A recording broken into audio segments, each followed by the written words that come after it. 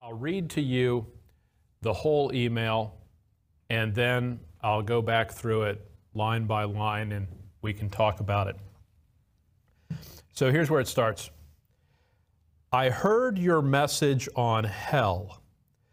There is no place that God is going to torment and torture anyone. You keep preaching that, and you will scare millions, torment millions, and please the constituency you already have. Jesus is the Savior of the world, but you are blind and cannot believe the words of Scripture. Rodney is right, and you will not listen or refute. You are a coward. Gives his phone number. Call me, coward. You will not call me or Rodney because you are a dishonest religious coward. And then there's a section when you complete the online form that asks anything else you'd like to share. And so he had something he wanted to share. Stop teaching lies about God. So that was the one of the emails we received, and I thought I would just go through this with you because I think it'd be worthwhile to do that. So let's go line by line. The first line is this I heard your message on hell. There is no place that God is going to torment and torture anyone. So get Revelation 14, verse 9. Revelation chapter 14, verse 9.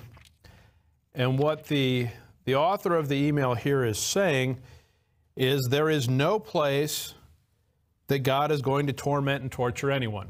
So let's read Revelation chapter 14 and verse 9. And the third angel followed them, saying with a loud voice, If any man worship the beast and his image, and receive his mark in his forehead or in his hand, the same shall drink of the wine of the wrath of God, which is poured out without mixture into the cup of his indignation. And he shall be tormented with fire and brimstone in the presence of the holy angels and in the presence of the Lamb. So, does the Bible say that people are tormented? That's specifically what it says. They're tormented with fire and brimstone. You've probably heard this. What, what is, is often said, I, I have no way of knowing whether it's true or not, but that burns are the most painful wound that you can have. That's what's often said. They're certainly not pleasant. Well, there's people that are tormented with fire. Verse 11 And the smoke of their torment, that obviously relates to the fire, ascendeth up forever and ever. And they have no rest day nor night, who worship the beast in his image, and whosoever receiveth the mark of his name. So are people tormented? Yes. How long are they tormented? Forever and ever. Do they ever get a break? No, because they have no rest day nor night. So uh, I make the observation that people say, well, there's no torment. A loving God wouldn't do that. You're just ignoring what the words on the page plainly say. It's more than obvious. So here's the next thing he says. I heard your message on hell. I'm going to reread part of this. I heard your message on hell. There is no place that God is going to torment and torture anyone. You keep preaching that, and you will scare millions, torment millions, and please the constituency you already have. So, what he's saying there is that when someone teaches on hell, they're doing that to please people. So, let me ask you this question who do you think is in the man pleasing business? Someone who preaches there is a literal eternal torment in hell, or someone who says universalism? Which one of those people is in the man pleasing business? Isn't it obvious who is? The universalist is in the man pleasing business. Look with me at 2 Timothy chapter 4 verse 3.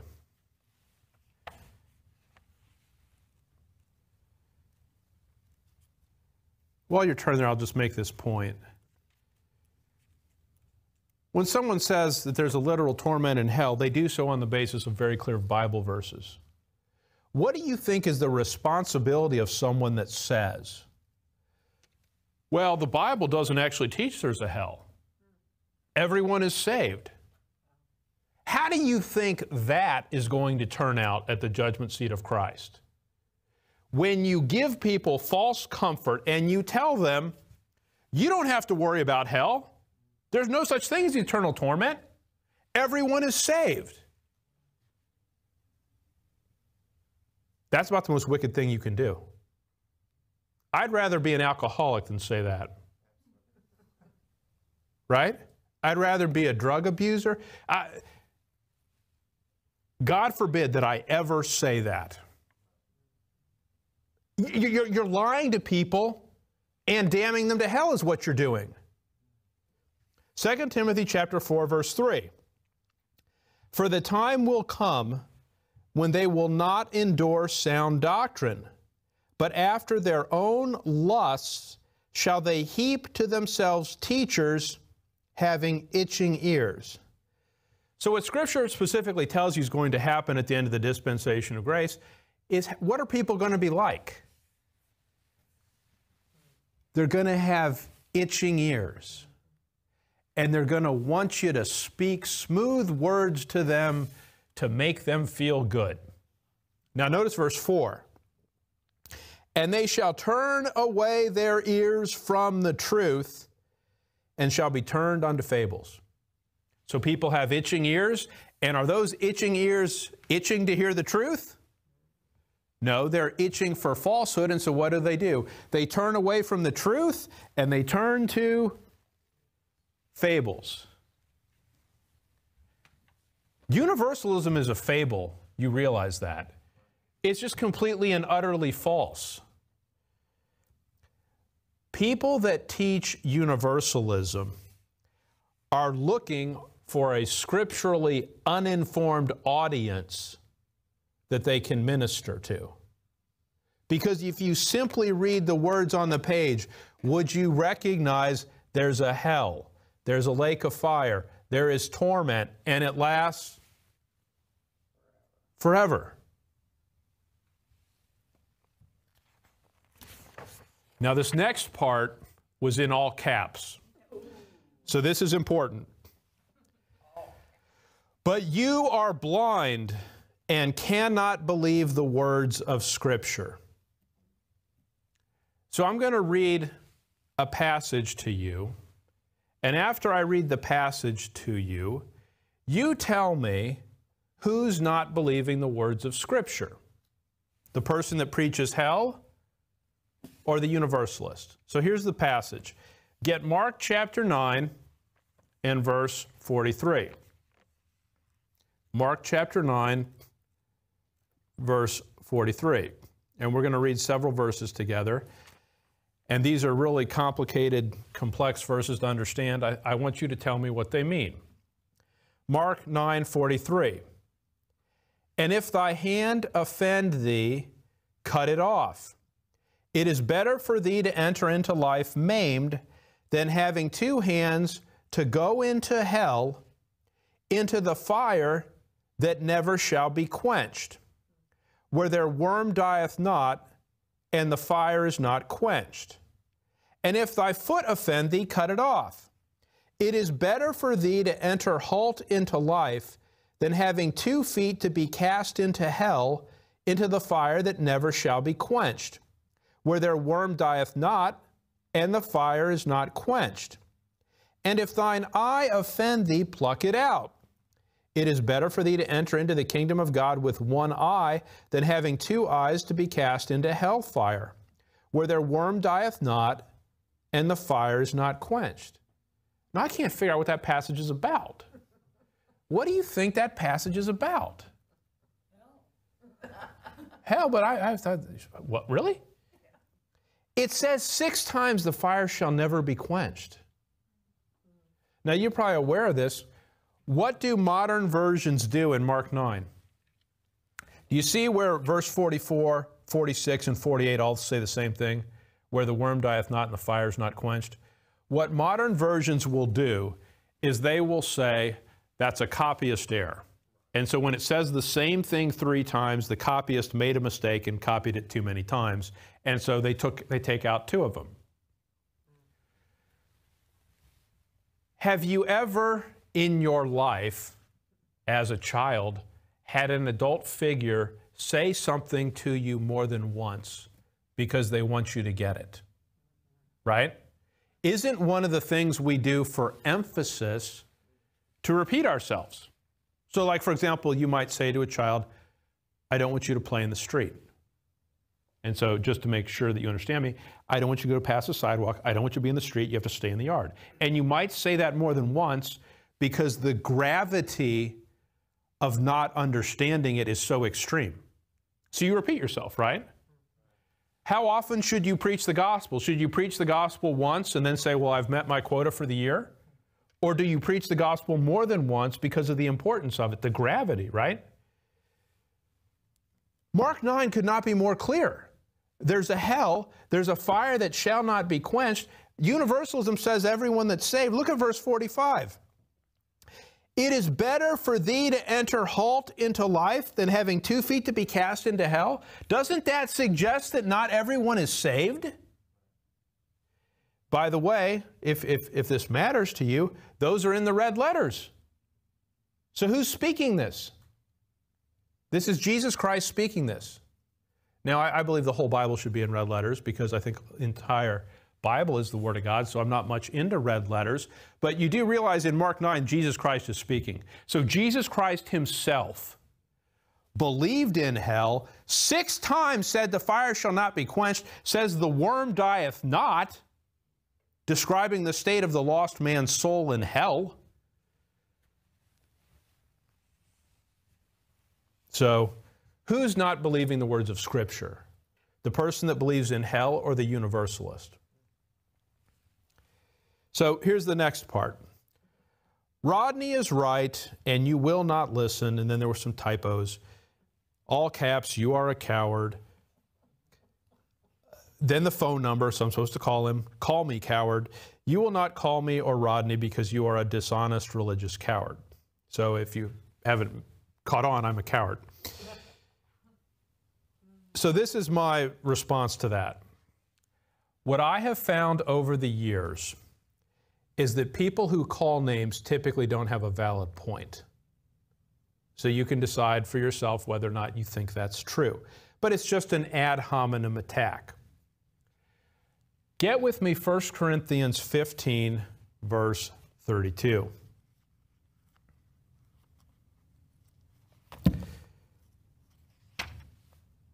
First Corinthians 15 and verse 32. If after the manner of men I have fought with beasts at Ephesus, what advantageth it me if the dead rise not? Let us eat and drink, for tomorrow we die. Be not deceived. Evil communications corrupt good manners. Let's understand what verse 33 is saying. Evil communications corrupt good manners. The issue in verse 32 is whether or not there is a resurrection. So look at verse 32 again.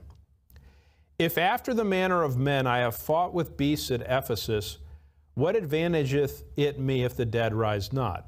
In other words, 1 Corinthians 15 is all about the resurrection. Paul's making the point that this life isn't all there is. There is a resurrection and a, ne- a, next life. When he says, What advantageth it me? Why would I fight with the beasts at Ephesus? What he's saying is, I, I would have to be an idiot to spend my life being persecuted for the gospel if there is no next life. Why would I do that? Then I, I'm just suffering for no point. Let me read it again just so, so, you see it. If after the manner of men I have fought with beasts at Ephesus, what advantageth it me if the dead rise not? Why would I do that? That'd be a waste of time. Notice what he then says Let us eat and drink, for tomorrow we die. What Paul says there is if there is no resurrection and there is no next life, then you ought to live for this life. And that logically makes sense. If there is no next life, if this is all there is, then have as much fun as you can in this life. But of course, his whole point is there is a next life. That's what the whole chapter is about. Now, what he says in verse 33 is this Evil communications corrupt good manners. So let me give you this illustration. If I teach people there is no next life, this is all there is, are they going to behave righteously or are they going to live in the flesh? They're going to live in the flesh. I'll give you another example. If I teach people, you're not created in the image of God, you're just a bald monkey, right? All you are is you're an ape that now doesn't have enough hair. Isn't there a difference in how you think about yourself? There's a difference whether you think about yourself as I am created in the image of God and I bear the image of my Creator a divine transcendent God. I am fundamentally a spiritual being.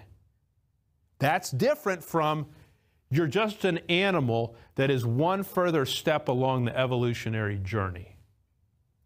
Those different worldviews will produce different behaviors.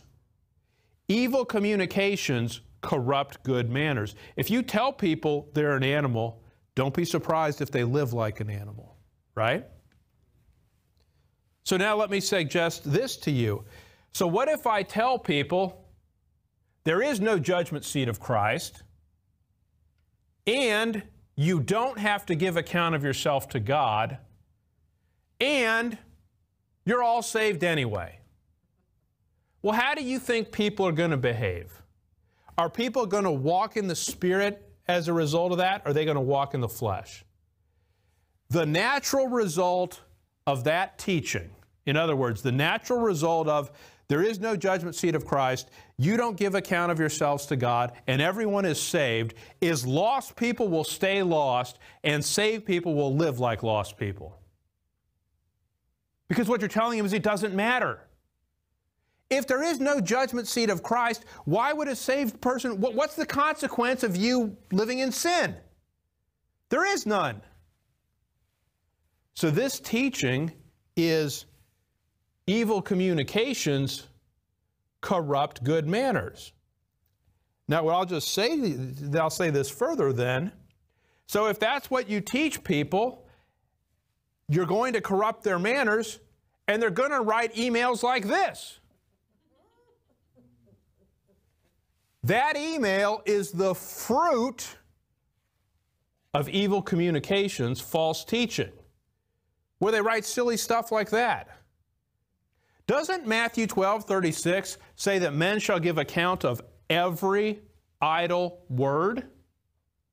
Well, if you're going to give account of every idle word, then you hadn't ought to say dumb things. Right? You ought to be very thoughtful and careful about what you say. But if you tell people it doesn't matter, there's no judgment seat of Christ, you don't have to give account, people are going to live like that's true. It's not true. My point is this doctrine has consequences. It just does. It will affect how you live.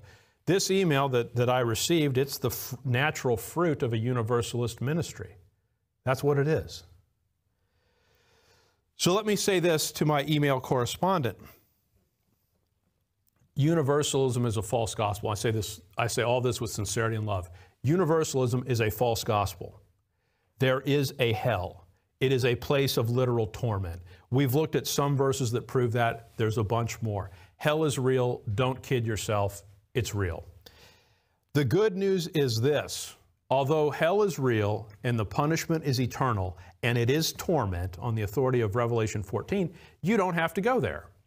And you don't have to go there because Christ died on the cross for your sins. He was buried and he rose again the third day. So in, in, consistent with 2 Corinthians 5, I would say that I, I beseech you to be reconciled to God. By believing the gospel that Christ died for your sins. That way you don't have to pay the penalty for your own sins. He paid them for you. So I would, I would encourage you in that regard.